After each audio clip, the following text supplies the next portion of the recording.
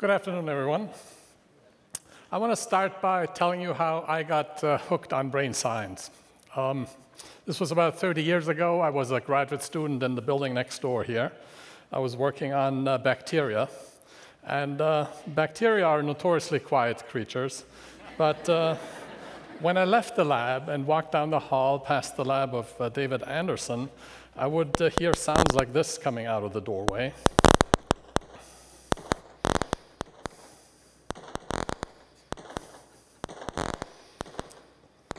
And what we're looking at here, what we're listening to, are the sounds of a visual neuron responding to flashes of light. And every click that you hear is an action potential, a small electric pulse that the neuron fires by which it communicates with other nerve cells in the same circuit. And then I'd walk further down the hall, and Mark Konishi was studying the uh, auditory system of birds, and his neurons were making much the same sounds, same action potentials. And the neurons that control your muscles also fire action potentials. They sound much the same way if you listen to them in a loudspeaker. So the brain is able to take these incredibly diverse kinds of world events, the sounds and smells and sights, movement, thinking, dreaming, sweating, take all these world events and translates them into the common currency of action potentials, spikes in neurons. And that's a really remarkable step of abstraction. It's remarkable, especially for a, a, biological organ that's made of flesh and blood, as we found out from Alan this morning. Um, and with that step of abstraction, the brain can now apply a generic kind of machinery to connect these very disparate world events, to make some causal connections that ultimately help the organism survive. And that's what we call computation. That's why we think about the brain as computing, because it translates events into this common language and then operates on these action potentials. Now, the brain's machinery for doing that are circuits of nerve cells. And the, the program by which it computes something, the rules of computation, are embedded in the synapses by which these nerve cells are connected. Now, scientists in our field hope that someday soon we'll be able to understand these circuits in the same level of detail and accuracy as we understand electronic circuits. We hope that we'll be able to draw diagrams of which neurons connect to which other neurons, add some information about the properties of the individual nerve cells and the connections, and from that predict and explain what the circuit computes. Now, my goal today is to have you walk out of here and be able to explain two computations in a little part of the brain, and that little part is the retina. The retina is a little bit of brain that got pushed into the back of the eyeball. The rest of the eye is there to project an image onto the retina. If you take a little section of retina, like that rectangle, and inspect it, you find that it's this beautifully layered circuit of nerve cells. In this picture, the, the red bits and the yellow bits are the cell bodies of neurons, and the blue parts are where they connect to each other, the synapses. At the top layer are the photoreceptor cells. These are the familiar rods and cones that convert a light into a neural signal. And at the bottom layer are the output neurons of the retina. They're called ganglion cells. Each of these neurons has a fiber coming out of it that together form the optic nerve and send these little electrical pulses to the brain. In between the input and output layers is a lot of sophisticated circuitry, about which I'll have more to say later. For now, I want to give you an interesting statistic about your retina. Uh, you have about 100 million photoreceptors in each eye, but only a million fibers coming out of it. And so the retina must somehow compress the image from the 100 million pixels down into a million output fibers. And we know now that in the process of doing that, the retina actually throws away about 95% of the raw image that uh, enters your eye. And only 5% of the information gets sent on. Now, the retina doesn't choose those 5% randomly, uh, but instead does something very intelligent. It throws away the information that the brain already knows for some reason or other, information that can be predicted from other information the brain already has, and it sends on only the parts of the image that are novel in some way and unpredictable. And how that works, the computations that allow the retina to do that, is what I want to talk about. So consider an image that might have fallen on your retina a short time ago. And uh, let's uh, zoom in in particular. Uh, and uh, uh, on the scale where this little circle is about the size of one ganglion cell.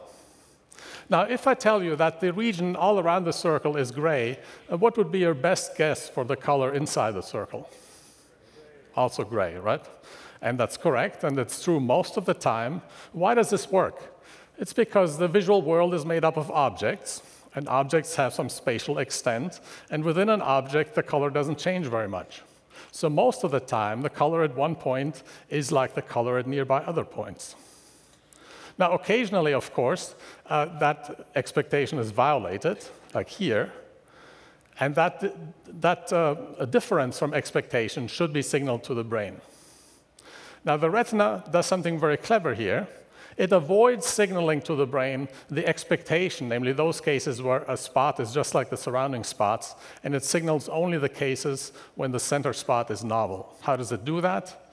A typical ganglion cell measures the local light intensity, subtracts from that the intensity in a surrounding region, and sends to the brain only the difference between those two numbers. So in the left case, the output of the ganglion cell will be zero because it subtracts something from itself. Whereas in the right-hand case, the ganglion cell will fire a burst of spikes because the center part is different from the surround. Now, this trick is called predictive coding. It's something that's uh, well familiar to electrical engineers, but nature invented it 100 million years ago. This kind of processing really affects your visual perception. Um, let me give you an example. Um, is there anyone here who thinks that the two tiles that I've marked with dots here have the same color. Okay, you should come and see me later. Uh, most of us feel that uh, the tile on the left is dark and the tile on the right is, uh, is lighter, but in fact, they are the same color. But uh, the one on the left is surrounded by bright uh, tiles, and that difference is what uh, gets sent to the brain, and therefore we have the sense that it is darker than the one on the right. Uh, there's a funny episode that illustrates for me the strength of this effect. I recently published this picture in a, in a major textbook. Uh, no point in telling you the title, but it's a book about the principles of neural science. And, uh, and, and, when we received the very last author proof, the graphics editor had quietly moved the right hand dot over by one tile. on the idea that I had made a crass mistake uh, in, in, labeling the tiles, and it wasn't even worth checking back with me on it. Um, anyway, so it's a very strong effect that results, uh, in part at least, in large part, by what happens in your retina. Well, what actually happens in your retina? So let's get down to neural circuits, which is what we're trying to understand. A retinal ganglion cell gets excited by a bipolar cell, and the bipolar cell gets excited by the photoreceptor above it. So this little circuit, feed-forward circuit, measures the local intensity in the receptor above the ganglion cell. But in addition, ganglion cells get inhibited by amacrine cells. And amacrine cells are connected to bipolar cells further away, out in the periphery. And so that circuit measures the intensity in the surrounding spots and you can see that the ganglion cell will respond to the difference between the two because it gets excited by the center and inhibited by the surround. So in the common situation where center and surround have the same color, the ganglion cell remains silent because excitation inhibition cancel. But in the situation where the center is brighter, the ganglion cell will fire a strong burst of spikes. So here's an example of how the retina computes a prediction from the uh, surrounding spots. It computes an expectation for the center and subtracts that from the expected image. Now, what about uh, prediction in time? It turns out that works equally well. Here's an example of a movie that might have fallen on your retina if you would wander around campus uh, before the show or later today. Let's zoom in again on a little spot in the movie that's about the size of a ganglion cell. So if you were told that the spot was dark gray, three movie frames in a row, what's your expectation for the next frame?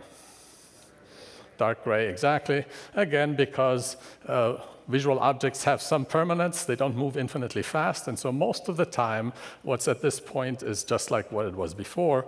except occasionally it's not. Yeah? Now, in a case like this, the retina should not signal to the brain that the spot is dark gray, dark gray, dark gray, dark gray. It would make more sense to signal only the times when the intensity changes. And in fact, that's what retinal ganglion cells do. They measure the local or the, the current light intensity and subtract from that the light intensity a little bit in the past. In a condition like this, therefore, the ganglion cell remains silent. A little bit later, that particular spot turns bright because it moves across the edge of that column. And so for a brief period, the intensity is brighter than it was in the past, and the ganglion cell fires a burst of spikes. So here we see prediction in time operating. The principle is the same. The retina tries to predict what the intensity is going to be and subtracts that from the actual intensity. This kind of processing, again, has a strong effect on your visual perception. Parts of the scene that are static and don't change almost disappear from view, and only the parts that change are still visible. Let me show you an example. Here I'm going to have to ask you to hold your eyes still on that center cross. So fixate the cross and try to hold your eyes as still as possible. Ready? Okay, now some of you might see a green spot running around in a circle, and the pink spots may almost disappear. Raise your hand when you have that kind of uh, feeling. Okay, that's a pretty good fraction already. So you can take your eyes off the cross now and try to follow that green spot around. All right, so there is no green spot, right? there are only pink spots, and the pink spots are there all the time, or almost all the time, which is why they disappear from your view. Occasionally, a pink spot goes gray, and that's the only thing you perceive. And because the decrease of pinkness is like an increase in greenness, that uh, leads you to the perception of the green spot. How does the retina do this uh, operation in time? It's actually very similar to what we already discussed. A ganglion cell gets excited by a bipolar cell and inhibited by amacrine cells. Now, some of these amacrine cells are connected very locally, in fact, connected to the same bipolar cell that gives the excitatory input. So let's see now what happens when the photoreceptor sees a change in light intensity. Well, that means the bipolar cell signal goes up suddenly. A short time later, the amacrine cell signal goes up. The delay is because it takes a little time from the bipolar to the amacrine cell to, for the transmission. And the ganglion cell takes the difference between the two, so its signal goes up and then down again, and it only fires a brief burst of spikes. So in this way, ganglion cells encode only when things change, not uh, when they remain constant. Now, in both these cases, uh, the prediction for the image was made by retinal amacrine cells. These are the inhibitory interneurons that try to keep the ganglion cells from firing. And they come in an extreme diversity of types. We think there are about 30 different types of amacrine cells in the retina. Some are tiny, they only connect to one pixel effectively. Others are huge and send their processes clear across the eye. Here I've drawn them both on the same scale. And we think this is a hint that the retina performs much more complex computations than the ones that I've indicated for you now. In fact, we know quite a bit about this already, and uh, the sense is that there are about 20 different kinds of image processing that happen in your retina. We know this because there are 20 different kinds of retinal ganglion cell, and each population of ganglion cells covers the entire field of view. So each of those populations sends a different kind of feature about the visual image onto the brain. Now, these 20 channels of retinal output, of course, are just the very beginning of visual processing. If you look into the brain, they feed this fantastic hierarchy of visual areas in the cortex, in addition to circuits uh, elsewhere in the brain. And now, in this hierarchy, you've seen the slide already today. Uh, each of the colored boxes is another circuit of neurons of complexity equal or greater than that of the retina. And our program, as speaking as a community, is to crack each of these circuits, put the information about the computations that happen there into such a diagram, and from that try to understand how the whole machine works. Now, this seems like a tall order, and I would say that most of us harbor the secret hope that uh, each of these boxes will end up being a variation on a common theme, that we won't have to sort out what happens in each of these circuits from scratch, but they'll actually follow some common principles. And if this is the case, then I think the understanding of these systems and circuits can fall into place much more rapidly. Finally, let me summarize briefly what uh, we've learned today. Uh, the first idea is that uh, relatively simple circuits can perform what seems like difficult computations, like predicting what's going to happen in time or predicting what will happen in a different part in space. And these predictions in the retina we've seen are made by the inhibitory interneurons. And they come in a huge variety, probably because there are so many different kinds of predictions going on. And it should be noted that much of the brain is actually involved in trying to predict the future for you and help you out that way.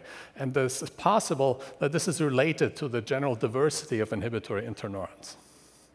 And finally, let me restate that the rules for the computations are stored in these plus and minus signs that I had in my circuits. So they are in the strengths of synapses that govern how signals are being combined. And much of that is stored in the circuit through evolution. In vision, for example, animals have dealt with the same physical world forever, and therefore those rules stay constant. They can be written in by evolution and genetics. Other rules, of course, are acquired by recent experience. Thank you very much.